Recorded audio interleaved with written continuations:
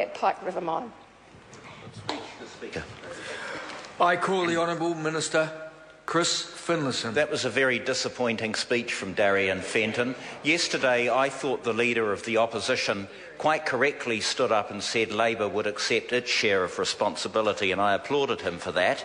But by within 24 hours, we had a nasty and unpleasant speech from Darien Fenton that really lets the side down. There are major issues that need to be addressed, major issues that need to be addressed and I've already said on a number of occasions that this government is utterly committed to addressing them. Because last week the report came out, and yesterday Mr Brownlee and I went down to Greymouth to present the findings of the Royal Commission's report to the families. And I want to refer to what the Royal Commission uh, said about those families uh, at page 27 of Volume 1 the loss of 29 lives at Pike River exacted an enormous toll on the men's families, friends, and colleagues.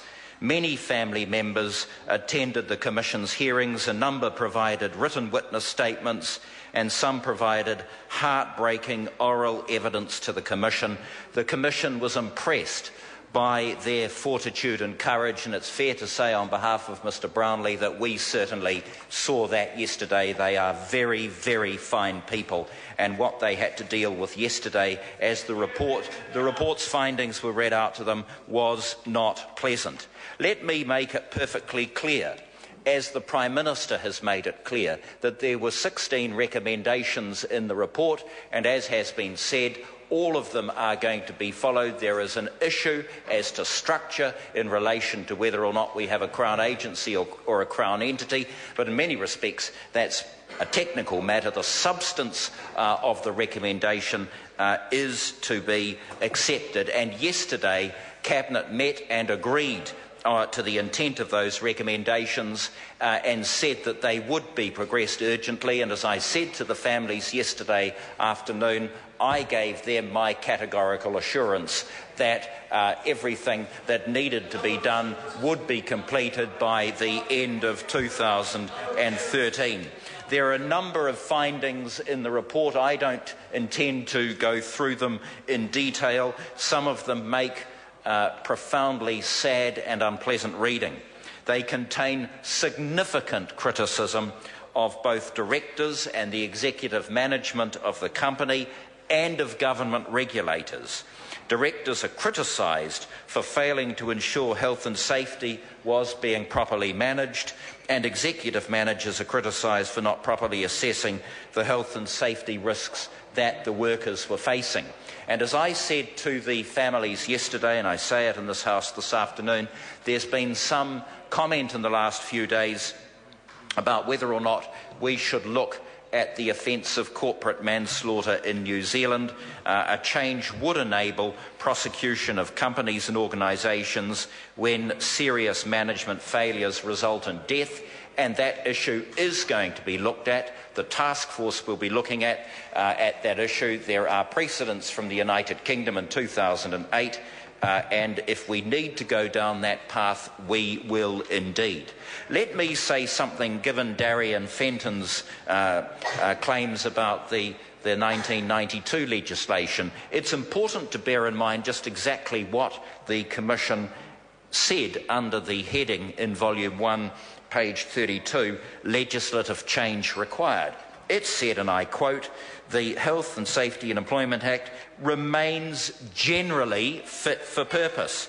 The Commission has identified a few changes, although the suggested expert task force may well identify more. Two areas in the Act require early attention. And the first, and I responded to it in answer to one of her uh, more coherent questions in question time today uh, was worker participation, including contractors. They said that the legislation on worker participation should be strengthened, and it said workers sometimes don't understand health and safety rules or ignore them to get the job done. They should be entitled to receive key information on health and safety risks without having to ask for it, and that's exactly that's something I totally agree with. And as I said, I'll be looking forward to working with both employers and unions to ensure that uh, any necessary changes are made. The second issue, which I've I've also highlighted in answers to questions this afternoon, concerns the duties of directors. And again, the report says that this is the second area uh, that requires early legislative attention, that dealing with governance by the board of directors. They should see health and safety risks as their concern and should give them the same careful attention they apply to other risks facing the company. There are various ways in which those reforms could be enacted, either through the Companies Act generally or through the 1992 legislation, but I give my assurance to the House that those matters are going to be looked at as a matter of urgency. And the third area I might just touch on, the Commission's recommended that the penalty regime be reviewed to ensure health and safety obligations are taken seriously. Again, I totally agree with that, and we're looking at that as a matter of urgency. So, in terms of the 1992 legislation, generally fit for purpose, but requiring some urgent remedial legislative attention, and that is going to happen. The government will be acting on these matters and will be inviting the independent task force to re review those matters to ensure that there is a strong health and safety focus and governance. It's beyond any question, I would have thought, having read some of the material in this report that New Zealand's record in this area is simply unacceptable. On regulatory change, the government accepts that there were systemic failures in the regulatory regime across successive governments we could stand here and adopt the old U2 approach and point the finger, but where does that get the families of the 29 men? Where does that get health and safety in New Zealand? It is the responsibility of all of us to address these issues and not get into it happened under your watch, it happened under your watch kind of routine. I think that is demeaning and insulting to those poor men. The Royal Commission also found there's no predictable period following an explosion when a gassy mine may be safely entered before a second explosion. Importantly, it rejected criticism that rescuers did not go into the mine during the so called window of opportunity, and I was very pleased to read the Commission's very helpful report uh, on uh, the issues of body recovery.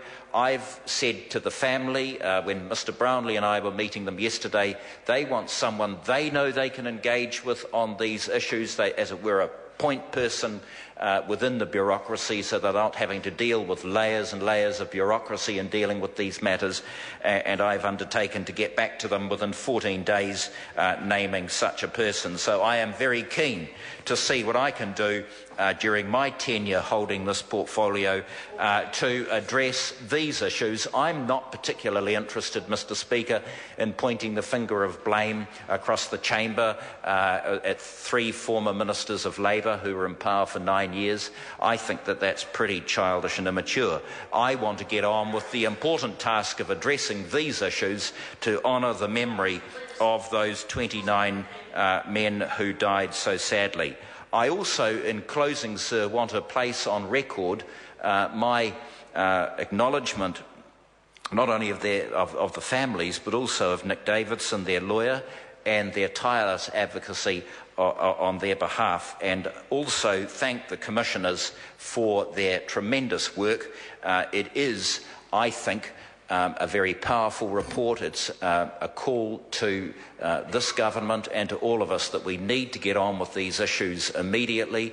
There is, uh, as I said to the families, uh, a real determination on the part of this government to address these issues. And as I say, they're a mixture of legislative and regulatory, uh, and we are going to get on with these straight away uh, and I look forward to the cooperation of uh, other parties uh, in this House. I want to finish by reading the words of the Commissioners with, with which the Government is in complete agreement.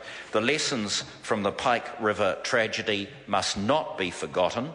New Zealand needs to take urgent legislative, structural, and attitudinal changes if future tragedies are to be avoided.